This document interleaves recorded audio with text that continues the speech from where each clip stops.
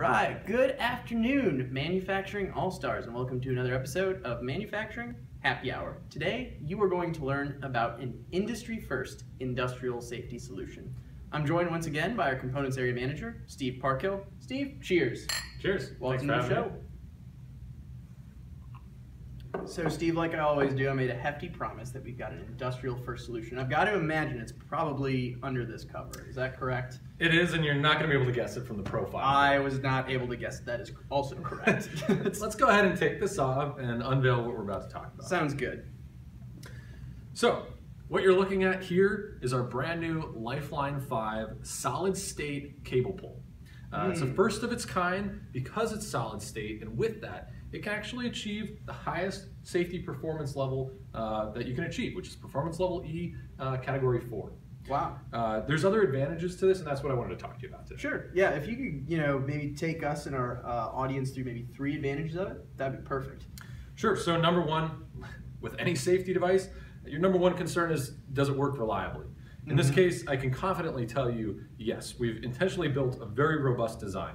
Um, it's as easy as pulling a cable, and you can see the status change there, perform a reset. We also built in e-stop functionality.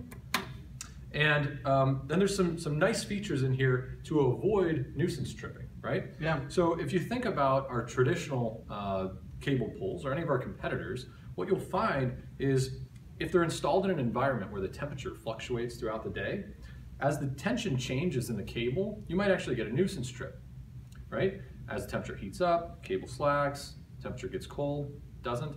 This device, rather than monitoring the actual tension value in the cable, Mhm. will look at the rate of change of tension. And so you can avoid Okay, those yeah, nuisance yeah, yeah. trips. Mhm. The other thing that might happen is, say we're standing next to a machine having a conversation, Mhm. and you inadvertently lean up against the cable. Let's let's see this. You're not going to trip the unit. And this is what I was getting excited about too, because this is something that I hear all the time out in the field. Is that type of situation where you just bump into it and it shuts down the machine. Right.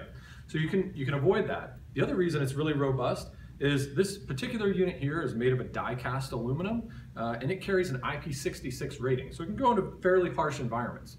We also make a version in stainless steel that's IP69K, so you can pressure wash the thing and you don't have to worry about it. It uh, can withstand temperature ranges from uh, below zero degrees to above 170 degrees Fahrenheit. So the thing is, is built like a tank, and I, I think that shows.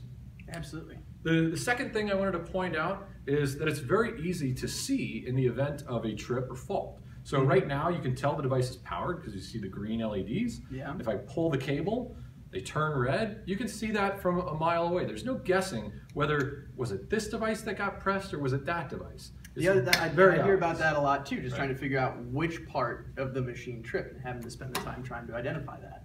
Exactly.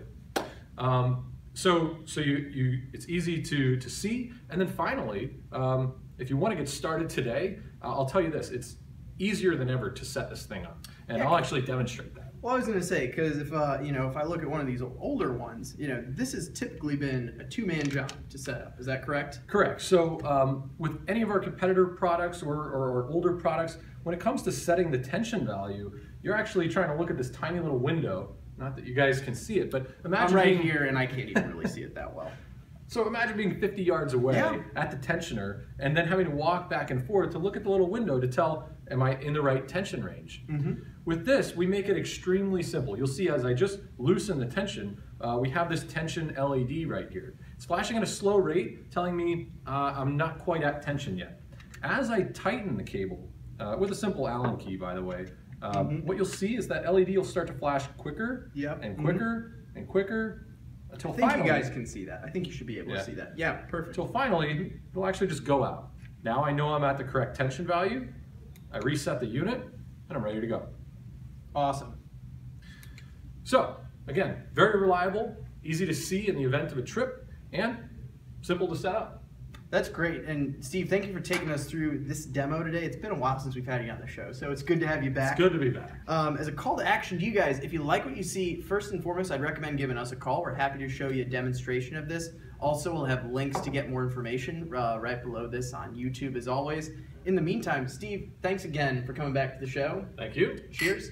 For the rest of you folks out there, stay innovative, stay thirsty, and we will see you guys again next time.